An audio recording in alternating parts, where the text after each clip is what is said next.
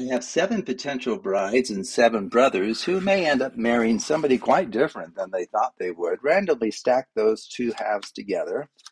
Klondike shuffle pairs to the table. The spectator is free to stack these however they like. After that, have them randomly cut off about half the cards, flip either half for a rosette shuffle. Bring those together.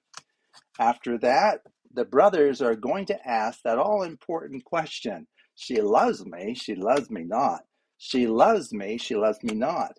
Yes, no, yes, no, yes, no, yes, no, yes, no. Have the spectator flip either half. How did we do? Did we find a bride for every brother? And will some brothers be surprised by who they end up marrying?